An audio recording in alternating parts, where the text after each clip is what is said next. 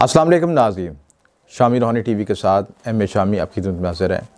आज का सदका, आज का वजीफ़ा लेके आपकी खिदमत में हाजिर हैं।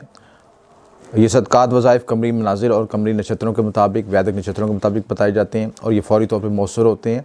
अपने दिन का आगाज़ इन सदक़ात और वज़ाइफ से करें तो आपके जुमला मसाइल में ज़रूर कमी होगी मामला में बेहतरी आएगी। आज इस्लामी तारीख एक जमातसानी पीर छः दिसंबर दो हज़ार इक्कीस। कमर की पोजिशन कमर मंजिल बलक पे है। यहाँ पे कमर की पोजिशन थोड़ी वीक होती है, यहाँ पे कमर अपने अनकम्फर्टेबल फील करता है इस लिहाज से नहस अमलियात और अमल दावत और लोगों में जो लोग ज़बान बंदी का अमलियात करवाना चाहते हैं, इस वक्त से फ़ायदा उठा सकते हैं। वजीफ़ा जो है आज के लिए जो नेगेटिव एनर्जी बचने के लिए जादूने से बचने के लिए बेहतर है, या हाफिज़ या हफीज़ का विजित करना बेहतर है।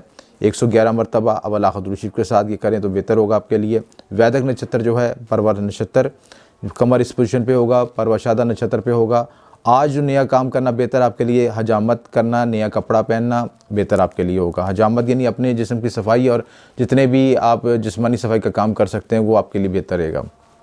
राहु काल का टाइम खुशी तौर पर मुताद रहें, आठ बज के तैंतीस मिनट से लेके ए एम यानी सुबह का टाइम से लेके नौ बज के बीस मिनट ए एम तक रहेगा। आज का खसूसी सदका जो है कि लोगों में नफ़रतें, परेशानियाँ और बांटने ख़त्म करने के लिए लोगों को तहफ़ दे सकते हैं। उसमें संदल खुश, खुशबू का, परफ्यूम का सदका या घर में संदल खुशबू का जो बहूर भी जला सकते हैं तो इन मामला से आपके मामला में बेहतरी आएगी। बर मेहरबानी अपने चैनल को सब्सक्राइब और शेयर कीजिएगा। आपको शुक्रिया, एम ए शामी